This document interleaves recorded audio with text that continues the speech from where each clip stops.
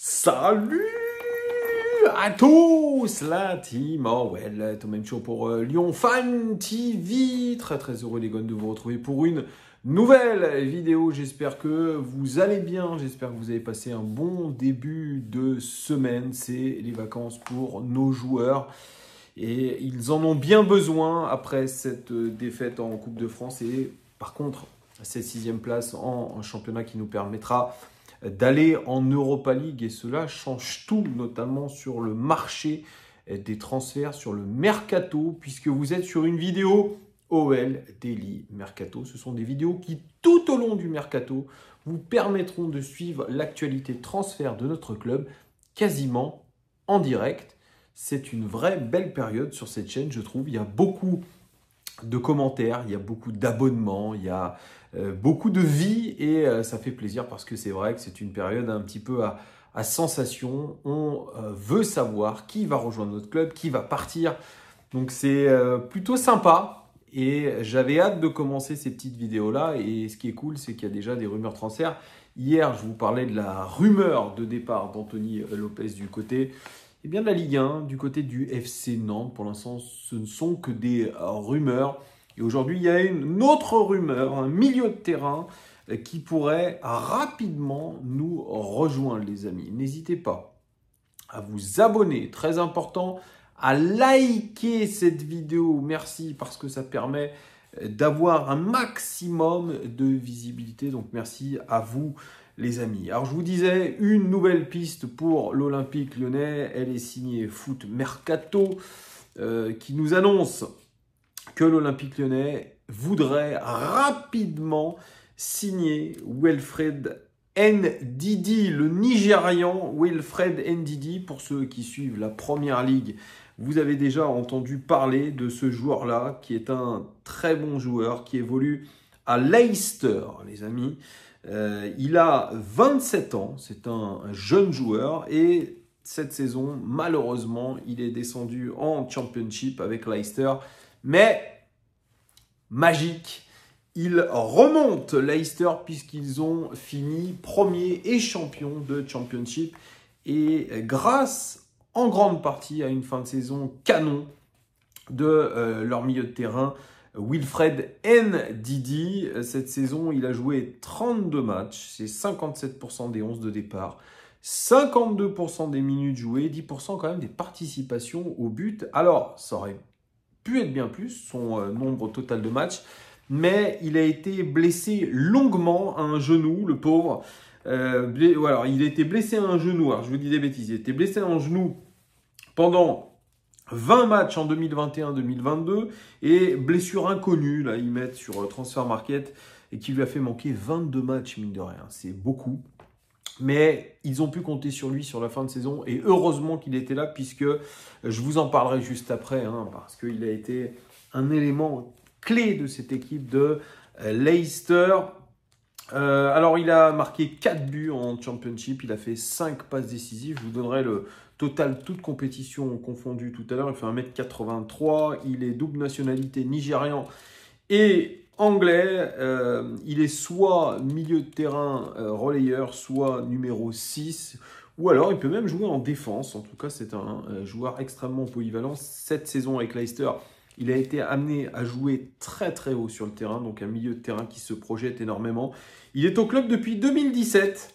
Et sa fin de contrat, eh bien, elle est au 30 juin. Donc l'Olympique lyonnais veut sauter sur l'occasion. Ils ne seront pas les seuls, évidemment.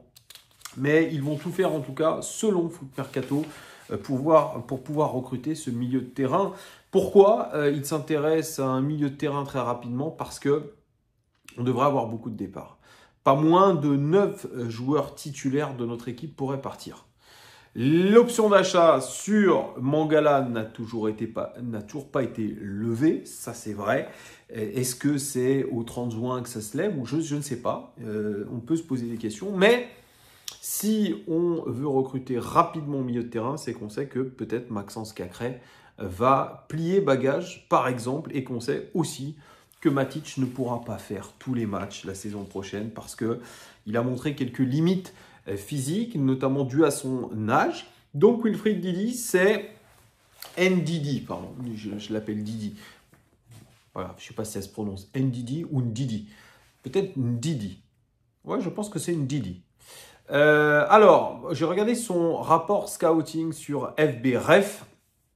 Alors, il est, hyper intéressant euh, parce que euh, est le maximum, il est meilleur que 99% des autres joueurs qui sont dans la même catégorie que lui. Dans les touches de balle, dans la surface de réparation adverse, il est très fort. Il est beaucoup dans la surface de réparation adverse. Et ce que j'ai pu voir, moi, qui, l'ai suivi un petit peu avec Leicester en, première ligue, j'ai pas regardé de championship cette saison, mais c'est un joueur très élégant, c'est un joueur très technique. Euh, il est élégant, technique, il joue des deux pieds, il est bon de la tête, il a une belle frappe, il est capable de se projeter. C'est un joueur vraiment, vraiment, vraiment complet. Euh, sur les non-penalty expected goals, donc les expected goals sans le penalty, il est meilleur que 98% des joueurs de sa catégorie. Il est meilleur sur les XG plus les expected assists aussi. Il est très bon sur les passes progressives reçues, donc puisqu'il est très très haut sur le, terrain, il est très bon sur les passes décisives. Euh, il est bon sur les buts aussi. Et oui, et oui, parce que euh, pour un joueur de sa catégorie, marque beaucoup de buts, il tire aussi beaucoup. Ça aussi, c'est une de ses qualités. Il est très bon aussi dans les possessions progressives. Oui, c'est quelqu'un qui a du gaz, c'est quelqu'un qui a une belle technique et qui est quelqu'un qui est capable de bien aussi porter le, ballon. Il est correct dans les duels aériens. Euh, par contre, là, ça commence à se gâter sur euh, tout ce qui est interception, action menant à un tir, pourcentage de passes réussies, euh, tac, c'est pas terrible, ballon contré, c'est pas, c'est pas terrible non plus. Et dribble réussi, c'est pas un grand dribbleur. Et au niveau des passes tentées, eh bien c'est très très très moyen. Donc on a un profil, euh, profil scouting qui est vraiment, je dirais, très proche d'un joueur qui se projette quasiment, quasiment un, numéro 10 qui se projette. Donc euh, aujourd'hui, c'est comme ça qu'on définit euh, Wilfried Didi, qui a été utilisé d'ailleurs par son entraîneur dans ce rôle-là. Et je vais vous en parler juste après. parce qu'il y avait vraiment une, beaucoup de choses à, changer du côté de, de Leicester, vu qu'il il descendait. Il y a James Madison, vous connaissez, international anglais, James Madison, Yuri Tillmans et Harvey Barnes qui ont quitté le club après euh, la relégation. Mais il y en a un qui est resté. Et eh oui, c'est Wilfried Didi. Euh, et surtout, il a été un joueur qui a été promu dans cette équipe, vraiment avec un rôle extrêmement important. C'est un euh, joueur qui est devenu partie intégrante de l'équipe de Enzo Maresca, c'est l'entraîneur de, cette équipe il a fait vraiment évoluer le jeu de son équipe dans ce sens, dans le sens de mettre euh, Wilfried Didi au centre de ce jeu-là. Alors traditionnellement, le garçon est milieu de terrain défensif et il est réputé en première ligue pour sa capacité à récupérer le ballon, ce qu'on n'a pas vu dans le, le rapport scouting, qui a montré que vraiment son rôle a évolué cette saison.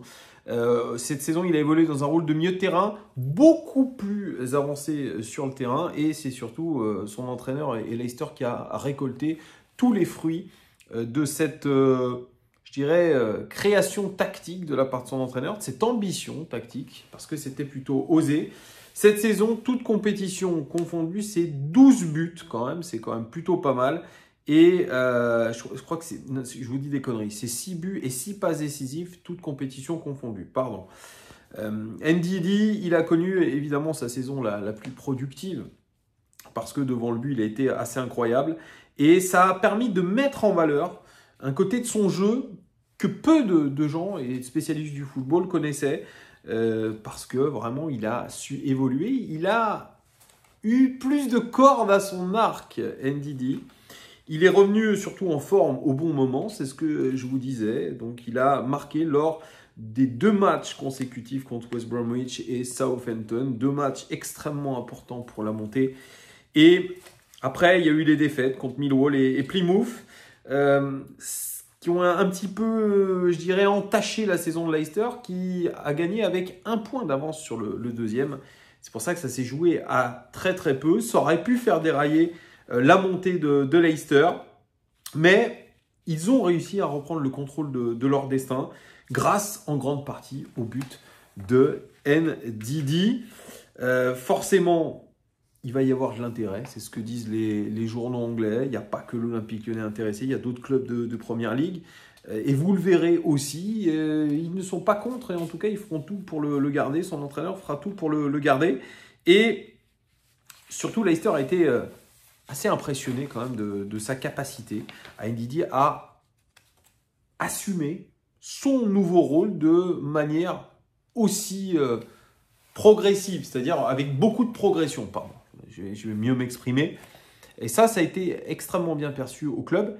Euh, donc son contrat, euh, comme vous le savez, expire en, juin, là, donc euh, à la fin du, mois. malgré tout, on a un club de Leicester qui est un petit peu comme l'Olympique lyonnais, qui a des capacités sur le marché des transferts qui est très réduite, puisqu'ils ont, je pense que c'est comme la DNCG chez nous, ils ne peuvent pas recruter comme ils le veulent, et ils vont être obligés de vendre certains joueurs pour équilibrer les comptes. Donc Leicester est dans une situation compliquée au niveau financier. Et ils vont être obligés de, perdre peut-être euh, euh, pas mal d'éléments. Et euh, Wilfried Didi, quand même, il faut savoir qu'il y a deux saisons, il valait 50 millions de livres et que il risque de partir gratuitement. Donc ça, ça fait un petit peu mal à Leicester. Ils aimeraient bien le prolonger. Alors, ils ont eu l'arrivée aussi de Harry Winks en provenance de, Tottenham, qui aurait pu d'ailleurs mettre NDD sur le banc parce que la, concurrence était féroce. C'est un très bon joueur, Harry Winks. Mais Maresca, son entraîneur, il avait euh, un plan pour, euh, pour le Nigérian. Euh, il cherchait notamment à avoir la possession et jouer beaucoup vers l'avant dans un jeu d'équipe. Et on a vu que NDD, il était très très bon dans la possession. Et il est surtout capable de très bien gérer le contre-pressing. Vous pouvez voir certaines vidéos euh, sur YouTube où vous verrez qu'au contre-pressing, il est très fort. C'est-à-dire 5 secondes, hop, il récupère le, ballon. Il est très fort pour ça. Et euh, il a brillé dans le système de, Maresca, l'entraîneur italien, donc l'a utilisé quand même au milieu de terrain d'une manière différente. C'est un joueur sur qui on s'est appuyé notamment pour son énergie, beaucoup d'énergie. Et c'est quelqu'un qui va être un avaleur d'espace. Il est capable de bien se situer aussi dans cet espace-là. Et il lui a demandé, comme je vous l'ai dit juste avant, d'aller euh, très haut sur le terrain et d'utiliser cette, euh, cette qualité technique et surtout cette vision du jeu, ses courses dans la surface de réparation. On l'a vu marquer des super beaux buts de la tête avec un très beau timing, comme un attaquant. Et euh, il est capable aussi de s'adapter au mouvement de ses coéquipiers. Donc c'est quelqu'un qui se mouvoie dans l'espace, qui est très intelligent tactiquement. Ça, c'est important pour notre équipe d'avoir des joueurs intelligents tactiquement. Donc, il a contribué euh, au système offensif de, son équipe et il a vraiment euh, considérablement étalé son influence sur l'équipe parce que 6 euh, des 10 défaites de Leicester en championnat cette saison sont venus alors qu'il n'était pas dans l'équipe. Donc vous voyez que ce joueur est hyper important. Et on comprend aujourd'hui pourquoi l'Olympique lyonnais aimerait le recruter. Donc ils ont remporté le championnat Leicester. Et donc ils seront en première ligue euh, la saison prochaine. Mais cela ne veut pas dire que Didi va rester euh, dans l'effectif. Il attire beaucoup de, grands clubs. Mais voilà, ils vont essayer de, tout faire pour le, garder. Euh, et voilà, c'est un joueur aujourd'hui qui a seulement 27 ans, qui a énormément euh, d'expérience. Il est aujourd'hui dans ses meilleures années et euh, ce ne sera pas une surprise de le voir quitter euh, Leicester. Maresca, il fait tout pour le garder et ce qu'il a fait avec lui, il a essayé de le construire finalement, de le développer tel un diamant. Et les deux sont extrêmement proches, c'est ce que révèle la presse anglaise. Euh, il parle même, c'est pour vous dire, d'un énorme exploit de la part de l'entraîneur d'avoir changé la face de ce, joueur-là. C'est pour vous dire à quel point euh, il y a quelque chose qui s'est quand même créé autour de lui. Et c'est la meilleure saison, en tout cas, de, son histoire pour euh, Wilfried Ndidi, de son, histoire dans le football. Hein. voilà, il a été cet élément important voilà, et qu'est-ce que je peux vous dire sinon? Euh, c'est que son rendement cette saison, euh, il a été euh, absolument impressionnant puisqu'il a dépassé ses précédents records en carrière qui étaient de, 4 buts et une passe décisive pour, pour Gang puisqu'il a évolué dans, le championnat belge, c'était en 2015-2016 et il a fait un but et 4 passes décisives pour Leicester en, 2020-2021. Donc vous voyez là il a fait 6 buts, 6 passes décisives en étant absent plus de 22 matchs. Donc c'est pour vous dire C'est quand même assez incroyable. Donc il est, il est passé euh, vraiment dans une autre dimension. Il est passé de ce rôle de numéro 6, comme je vous ai dit, à un rôle de numéro 8 très très avancé. Euh, limite, numéro 10, c'est un vrai coup de maître pour euh, l'entraîneur italien. Et son, son s'est avéré un, facteur clé voilà, dans, le, dans le rebond des, des Foxes pour la Première Ligue. Moi, comme je vous ai dit, c'est un joueur qui est impressionnant sur ses frappes de balles aussi. Il a marqué des très beaux buts. Euh, son, jeu aussi vers l'avant, ses qualités techniques sont, vraiment euh, assez incroyables. Franchement, c'est que ça reste que des highlights, hein, mais moi je l'ai trouvé euh, très très très intéressant. Donc on espère en tout cas que l'Olympique lyonnais va vite, vite se mettre dessus parce que son entraîneur veut le garder, comme je vous l'ai dit. Il, voudrait que Ndidi prolonge son aventure au club, son séjour au club. Et il va tout faire pour, parce que voilà, il n'a pas hésité à le, caresser dans le, dans le, sens du poil. C'est quand même 273 matchs avec, euh, avec Leicester, toute compétition confondue. Il a marqué 17 buts et 17 passes décisives. Donc vous voyez que c'est un joueur, franchement, qui est hyper intéressant. Et pour le coup, je valide à 100% la piste de Mathieu Louis-Jean, peut-être de John Textor. J'espère en tout cas que l'OL va s'activer. Et aujourd'hui, vous voyez, même un joueur qui a fait autant d'années en première ligue, qui a été en championship, et qui pourrait rester à, Leicester et retourner en première ligue, et eh bien aujourd'hui, eh l'Olympique lyonnais pourrait récupérer encore un joueur de première ligue. Donc preuve que nous sommes attractifs. On rappelle qu'on a récupéré Matic. Matic aurait très très bien pu euh, retourner en première ligue. On a récupéré, euh, Saïd Ben Rahma qui venait de première ligue. On a récupéré aussi euh, Aurel Mangala qui était en première ligue. Donc, vous voyez, les joueurs, enfin certains joueurs, pas tous les joueurs, sont capables aujourd'hui de quitter le meilleur championnat du monde pour aller eh bien, dans une équipe qui leur semble attractive et surtout qui le saura encore plus parce qu'ils seront en Europa League la saison prochaine, nos Lyonnais. Donc il y a de l'ambition. Il y aura, je l'imagine, une enveloppe euh, transfert assez conséquente. Il y aura beaucoup de départs, il y aura beaucoup de mouvements. Et on espère signer très rapidement Didi. Dites-moi en commentaire ce que vous pensez de ce joueur.